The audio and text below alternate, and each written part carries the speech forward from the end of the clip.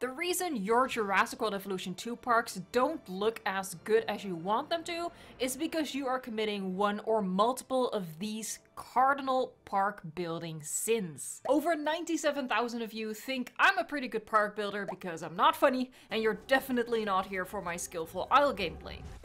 My channel is mostly about building inspiration for Jurassic World Evolution. That's why you're here and that's what I'm gonna help with. A lot of comments I get on my channel are, I wish I could build parks like you. And you totally can, if you avoid these top 5 building mistakes that I'm going to talk about in this video. Actually, I'm gonna talk about 6. I'm gonna throw in a bonus in the hopes of earning a like and a subscribe. Hello everyone, thanks for checking out this video and let's just dive right into it with the first mistake. Noodle Path. Did you know that my channel used to be called Crazy Path Lady? Well, it's because I did some, uh, well, some crazy things with Path. A mistake I see people making is just pulling stretches of path from one building to the next, one exhibit to the next, like a game of connect the dots. Leave that strategy to your challenge mode parks or your campaign mission parks. In Sandbox, you want to approach it differently. In Sandbox, you want to make wide promenades and use different path colors to make your guest sections look more interesting, which is what I call path flair. Just a little line of a different path color can really make everything come across as more purposeful. The second mistake ties into that, and it's too much efficiency. Efficiency sounds like a good thing, and it is, but too much of anything is never good. I see park builders trying to cram as much as possible into every single park. I'm talking getting as many species of dinosaurs in there and spamming amenities. Every single bit of the map needs to serve a purpose. Any area in a park might count towards one of three different types of purposes. The facilities, where you create your dinosaurs and you want to keep this as small as possible, unless you incorporate it into the overall theme of your park. The exhibits, where you house your dinosaurs, and your amenities, like your shops and hotels. We're all very focused on getting the most out of all of this. However, none of these purposes necessarily make your park look good. To fix this, you need to waste space. You might be afraid to use this tip, but it's going to have a big impact on your park building. Now when I say waste space, I mean create areas that don't serve any of those three functions. I already mentioned this a little bit in the first tip, but like make wide promenades for example. Also make little gardens and decorative ponds. You might be tempted to turn every little bit into an exhibit, especially because we still feel like the maps we got are still too small. But unless your goal is to make an all species park, don't try to cram as many dinosaurs into a map as you can. Beautiful scenery, unobstructed by tall fences, and public squares with seating and decor that the game says you don't technically need are going to make your parks look even better. If you're hesitant to apply this tip overall, at least use it for your park entry area. I think that if you do, you'll convince yourself that you can apply it more often with great effect. Next mistake, zero attention to detail. This is a mistake people make when they are trying to hurry, but in a perfect park there are no boring parts. Give every section of your park a little bit of attention and a little, or a lot, of decoration. Parks usually have the most wow factor when seen from a bird's eye view, and from that perspective, the little details don't even stand out, so you might overlook them, you might not even think to add them. But when you get down on the ground and take care to create details that your guests would experience, your park becomes much more enjoyable for you as well when you are using the new first person mode. A great park is more than just making it look great from the helicopter. My building style has definitely changed going from Jurassic World Evolution 1 to Jurassic World Evolution 2. In the first game, I was super focused on making my parks look great from a helicopter point of view because that's how we mostly play the game.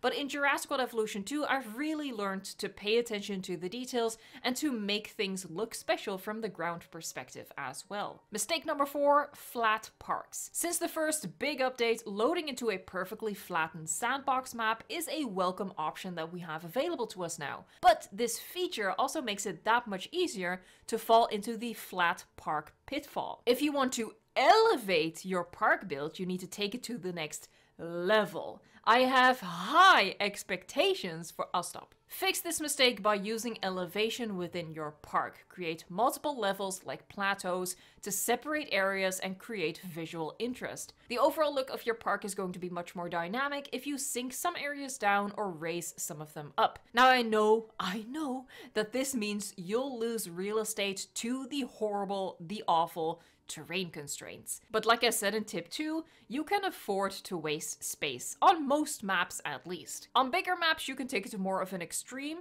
go for smaller elevation differences on smaller maps, and possibly use the hills as part of the exhibit so you don't feel like you are being too wasteful. I'm still playing the game unmodded. If you are using the terrain mod, you definitely need to make use of the extreme terrain editing and create some cliffs within your parks with nice vistas. The second to last mistake that I'll be discussing in this video are plain fences. Most of the time, we create an exhibit like this. Just a rectangular or random shape lined with a single fence. That's it.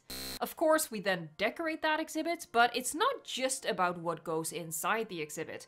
The shape of the enclosure and the fence that surrounds it are a design opportunity that you should utilize. Plan out a more interesting shape beforehand, considering attractions like viewing galleries, towers, and tours. Consider that an exhibit could be separated into three areas a regular daytime exhibit, a nighttime enclosure, and possibly an educational stadium. Instead of having just a single fence, use double fencing, and create reinforcements by making small squares with fence at set intervals. Use a mix of concrete walls and wire fencing so you dictate where your guests can look into the enclosure, pretending that they can, of course. Don't run a path right by the fence, but instead pull the path back a little bit and line it with planters so stupid guests can't touch the electrical wires or stick their hand into a carnivore's enclosure. Now, obviously, these things don't actually happen to your guests in the game. How awesome would it be if that did happen? Anyway. But when you're trying to make the best looking parks, you should consider some realism elements that the game neglects. I have a series of exhibit speed builds on the channel with more specific examples, so you can check those out after you are done with this video for some inspiration when it comes to building your exhibits. And now for the bonus mistake fix included. By the way, if you've been enjoying this video and these tips are helpful to you, give the video a like and of course subscribe for more park building tips, tricks and inspiration. The final big mistake no plan. This is a mistake that I make constantly.